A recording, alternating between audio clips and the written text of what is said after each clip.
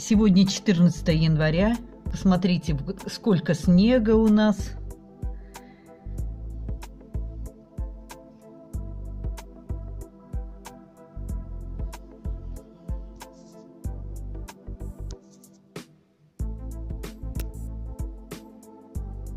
В камине потрескивает огонь.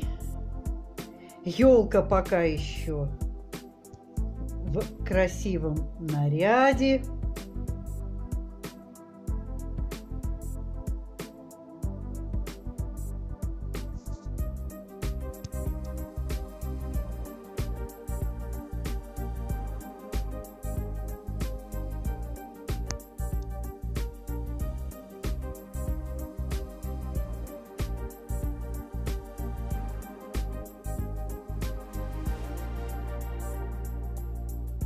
Сейчас уже половина десятого.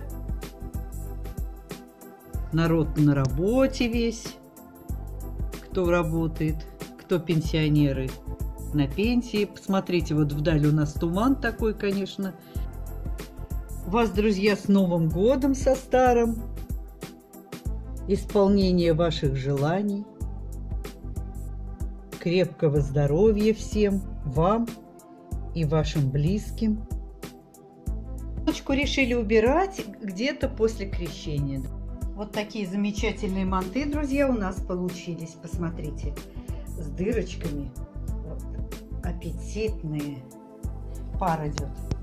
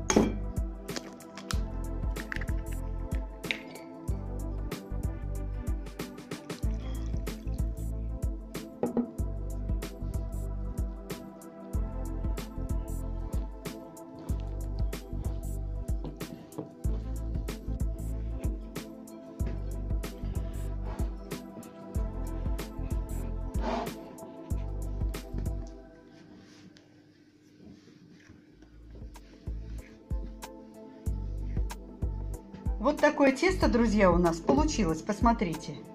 Довольно-таки тугое. И мы его оставим минут на 10, на 15 отдыхать. Накроем полотенцем и будем приступать к приготовлению фарша. Большие. Можно, как говорится, взять больше. 5 луковиц. Смотрите, здесь у меня фарша где-то около килограмма достаточно. Я вот его перекрутила, смешала. Посмотрите, я крутила его на крупной вставке. Посмотрите, как кусочки. Конечно, можно этот фарш порубить, порезать порубить. мелко, но я его перекрутила на мясорубке. Вот посмотрите, кусочки какие крупные. Здесь, друзья, у меня говядина и курдючный жир. Сейчас нарежу лук, соединю Сюда обязательно зира пойдет, черный перец, соль.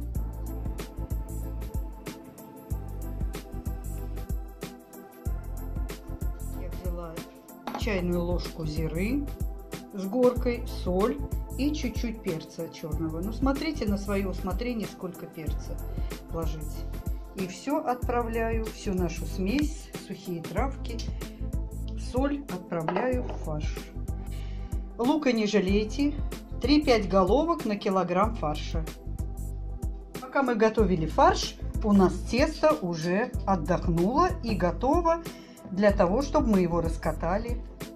Можно готовить манты тесто вот так колбаской,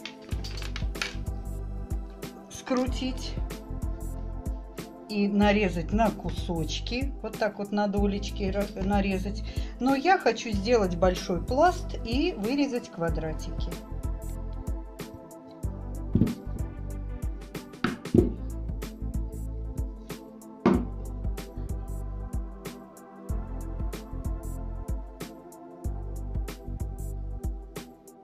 Тесто, друзья, у нас готово, вот этот пласт, и мы режем на квадраты. острым ножом, друзья.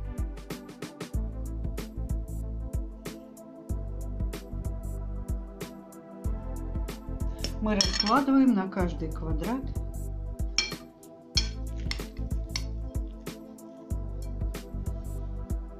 фарш. Вот так, друзья, я разложила мясо. У каждой хозяйки свой способ лепки мантов, друзья, но я показываю вам свой. И я считаю, что это очень быстрый, и я думаю, что вам понравится форма моих именно мантов, как я леплю их. Итак, друзья, я вам показываю. Смотрите, беру вот квадрат мой, я скрепляю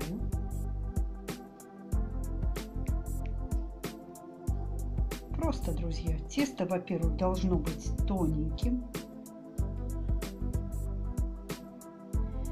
Также элементарно скрепляю вот так. Вот в такой конвертик.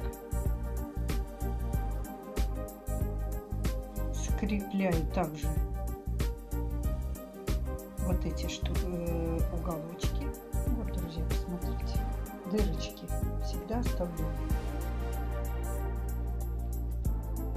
Следующий, друзья, показываю еще разок.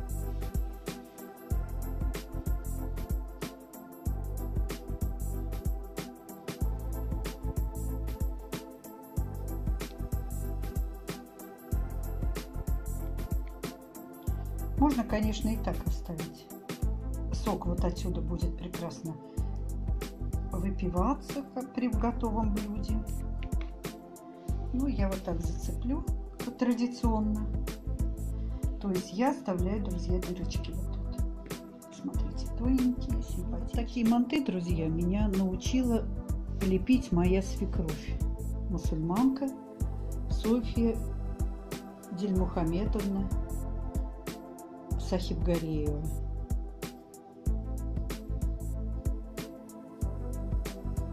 Такой, посмотрите, симпатичный. Получается мантик. Смотрите, друзья, такой. В нем и сок, и тоненькое тесто, прекрасно лук. Обязательно, друзья, много лука. Обязательно. Очень легко лепится. Посмотрите, вот так вот скрепляем.